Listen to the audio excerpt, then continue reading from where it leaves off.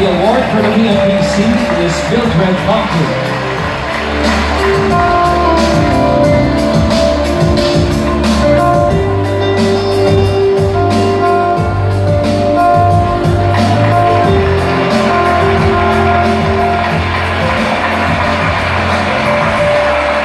Magandang gabi po sa inyo lahat.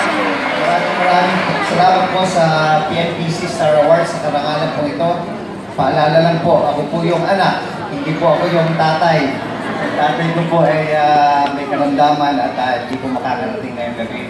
Ang ipaglaban po, po ay may pangunahing layunin na magbigay ng ah, impormasyon at kasiyahan sa mga manonood. Pero dahil po sa tulong ng ABS-CBN, sa pamumuna po ni uh, Direk Ruel, dito po si Mamo, si Mini at uh, buong team ng Ipaglaban Mo, kami po ay nakapagbibigay ng edukasyon at inspirasyon sa mga mamamayan. Maraming maraming salamat po sa karangalan ito.